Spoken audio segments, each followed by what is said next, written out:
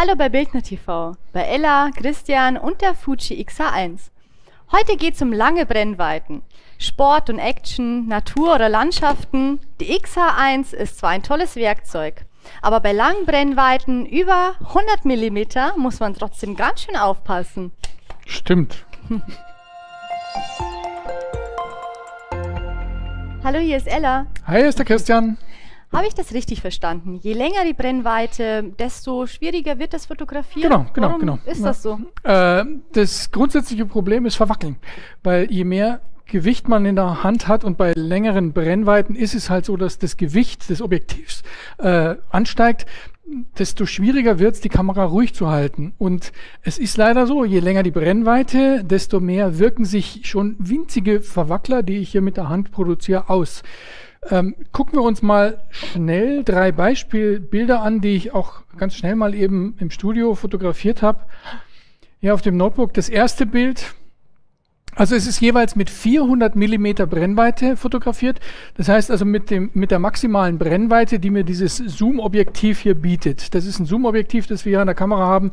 Das hat eine Brennweite zwischen 100 und 400 Millimetern. Ich habe diese Aufnahme mit 400 Millimetern gemacht und hier sieht man den Effekt relativ drastisch. Also jetzt so in der Vollansicht würde man sagen, naja gut, ist ein bisschen matschig, bisschen verschwommen.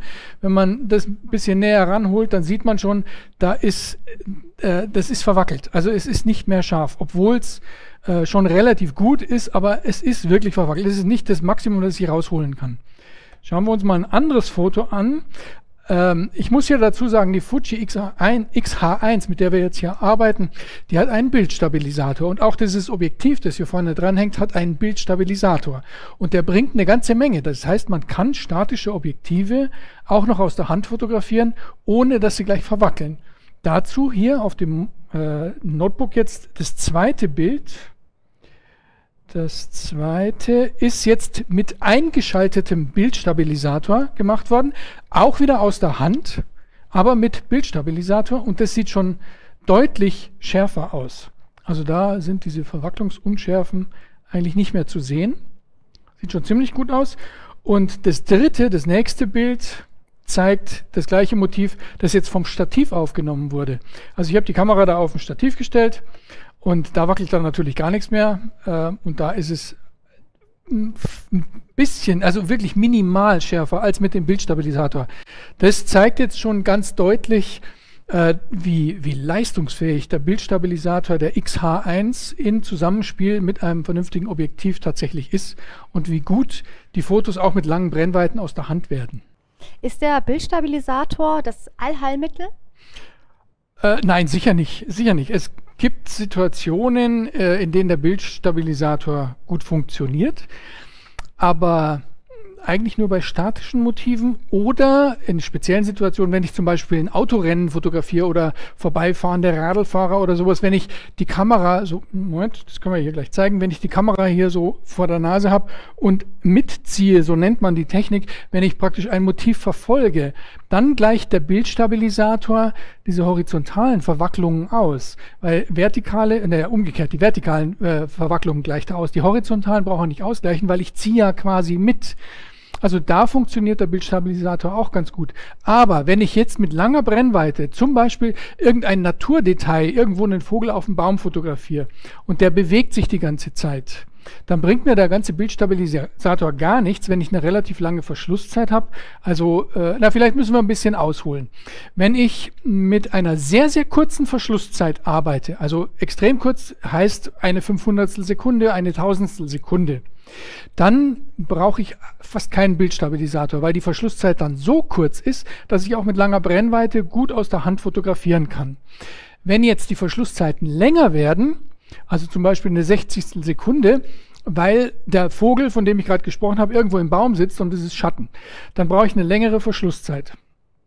Und wenn ich dann aus der Hand fotografiere, diese längere Verschlusszeit, die würde man dann schon sehen. Also wenn, wenn ich dann versuche, die Kamera ruhig zu halten, das funktioniert nicht bei einer längeren Verschlusszeit. Da kommt der Bildstabilisator ins Spiel und der gleicht dann meine Bewegungen der Hand, des Armes aus, auch bei einer längeren Verschlusszeit. Aber wenn dann die Verschlusszeit noch länger wird, dann hilft mir auch der ganze Bildstabilisator nichts mehr. Das nächste ist, wenn mein Motiv sich irgendwie bewegt, und ich habe eine lange Verschlusszeit, also Verschlusszeit zum Beispiel eine 30. Sekunde und fotografiere ein Motiv, das sich bewegt. Dann gibt es Bewegungsunschärfe, die aber jetzt nicht durchs Wackeln des Objektivs äh, erzeugt wird, sondern weil sich das Motiv bewegt.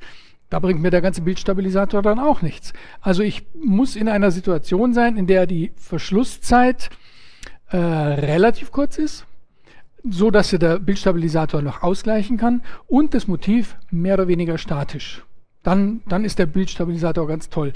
Und wenn ich in dieser Situation nicht bin, also wenn ich eine lange Verschlusszeit habe, ein statisches Motiv, der Bildstabilisator mir nichts mehr bringt, weil es so finster ist, dann muss ich anders arbeiten, dann gibt es andere Möglichkeiten. Du hast jetzt ja allgemein über die Brennweiten und den Bildstabilisator gesprochen. Ja. Was macht denn äh, die Fuji so besonders? Äh, diesbezüglich? Also man muss dazu sagen, lange Brennweiten sind für bestimmte Fotogenres interessant, nämlich Naturfotografie, Actionfotografie, äh, teilweise auch Landschaftsfotografie. Und gerade in diesen Bereichen ist die Fuji X1 ein, äh, eine tolle professionelle Kamera. Das liegt einerseits an diesem Bildstabilisator, über den wir schon gesprochen haben, der enorm gut ist, der teilweise vier Blendenstufen bringt. Äh, das heißt, ich kann aus der Hand fotografieren bei Belichtungs-, äh, bei Verschlusszeiten, die normalerweise nie und nimmer aus der Hand zu fotografieren sind. Das ist ein großer Vorteil dieser XH1. Ein zweiter ist, man kann mit dieser Kamera bis zu einer achttausendstel Sekunde fotografieren und das ist eine Zeit, eine Verschlusszeit, die natürlich auch bei einer extrem langen Brennweite leicht ausreicht, um scharfe Fotos hinzukriegen. Das nächste ist jetzt gerade im Bereich Action, äh, Motorsport oder sowas, da sieht man die Kamera auch wieder im Einsatz mit den entsprechenden Fuji-Objektiven, die sehr lichtstark, sehr schnell sind. Äh, die äh, reagieren irrsinnig schnell auf sich bewegende Motive, auch bei langen Brennweiten und in Kombination mit den kurzen Verschlusszeiten äh, liefert die Kamera einfach sagenhafte Ergebnisse. Also da da, äh, auch bei langen Brennweiten ist man mit der, mit der XH1 einfach auf, der, äh, auf einer guten Seite. Da, man kennt ja diese, diese Sportfotografen in irgendwelchen Fußballstadien mit diesen Mordsobjektiven. Da kann die Fuji X1 absolut mithalten. Eine Sache ist noch, äh, muss man auch sagen, wenn man, wenn man mit langen Brennweiten fotografiert und die Verschlusszeiten wirklich dann zu lang werden, um sie aus der Hand zu halten, trotz hervorragendem Bildstabilisator, dann muss man halt mit der Empfindlichkeit hochgehen. Das ist ein, ein weiterer Trick, um lange Brennweiten irgendwo aus der Hand oder auch vom Stativ aus zu fotografieren. Ja, du hast irgendwann mal gesagt, äh, je höher äh, der ISO-Wert, desto größer das ja, Rauschen. Ja, ja. Äh, klar, je höher ich die Empfindlichkeit stelle, also den ISO-Wert irgendwo auf äh, Werte jenseits 3200, das ist eben auch eine Stärke der Fuji, der XH1, nicht nur der XH1, auch anderen Kameras in diesem Preissegment bei Fuji. Der Sensor ist enorm, enorm gut. Also man muss wirklich sagen, selbst mit ISO 3200, selbst mit ISO 6400 kriege ich Bilder, die im Internet äh, in jedem Fall zu zeigen sind. Also da rauscht es zwar schon ein wenig, aber kein Vergleich zu älteren Kameras, auch zu Kameras anderer Hersteller. Also das Bildrauschen, das Rauschverhalten von dieser Kamera ist sagenhaft. Also das heißt, ich kann auch, wenn es denn sein muss, mal mit ISO 6400 oder was fotografieren, um eine lange Brennweite aus der Hand halten zu können. Also da, da fehlt sich auch nichts, wie der Bayer so sagt. ist es sinnvoll, nur Fuji-Objektive einzusetzen oder eignen sich auch andere hm. dafür?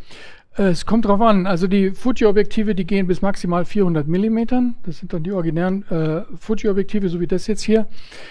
Ähm, wenn man längere Brennweiten möchte, kann man auch zu Objektiven von Fremdherstellern, zum Beispiel von Sigma, greifen. Also ich persönlich habe zu Hause eins, äh, einen 150 bis 600 Millimeter Sigma-Objektiv. Das Problem bei diesen extrem langen Brennweiten von Sigma ist, dass die den Fuji-Anschluss nicht direkt unterstützen. Das heißt, ich kriege kein Objektiv von Sigma, das einfach so an, die, äh, an, das, an den X-Anschluss der, der Fuji XH1 passt. Also brauche ich einen Adapter.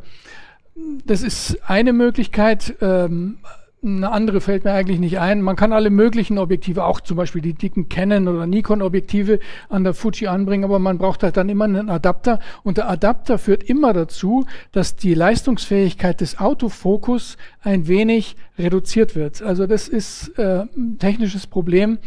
Es funktioniert zwar, auch mit meinem Sigma zu Hause funktioniert es. Das ist ein Sigma für einen Canon-Anschluss mit einem Adapter. Also ich habe praktisch ein Canon-Objektiv über Adapter an der Kamera. Das klappt, aber es ist jetzt äh, keine Ideallösung. Aber so, naja. Für, das, äh, für die Vögel, die ich fotografiere oder ab und zu mal im Nationalpark ein Luchs, da reicht es dann aus. Schon. Eine Möglichkeit gibt es noch, die hatte ich vergessen. Für die Fuji-Objektive gibt es einen sogenannten Tele-Konverter. Ähm, das ist ein kleiner Objektivring, der zwischen Kamera und Objektiv geschraubt wird. Der Konverter, der verlängert die Brennweite dieses Objektivs um den Faktor 1,4 und es gibt auch einen, der den, die Brennweite um den Faktor 2 verlängert. Das heißt, ich habe also maximal 800 Millimeter an diesem Fuji-Objektiv äh, mit der, mit der XH1 zusammen und das sollte normalerweise für alles ausreichen. Da, damit kann ich Details auf dem Mond fotografieren, wenn es denn sein muss. Ja, danke Christian. Äh, nutzt und entdeckt die vielseitigen Möglichkeiten eurer Kamera mit dem Buch äh, zur Fuji XH1. Den Link dazu findet ihr wie immer unten in der Beschreibung. Die praxisnahe Darstellung äh, bietet euch das erforderliche Wissen für eure Kamera. Ja, wenn ihr äh, wenn euch das Video gefallen hat, dann lasst uns bitte einen Daumen hoch hier und abonnieren nicht vergessen. Bis bald bei Bildner TV. Bis bald. Tschüss.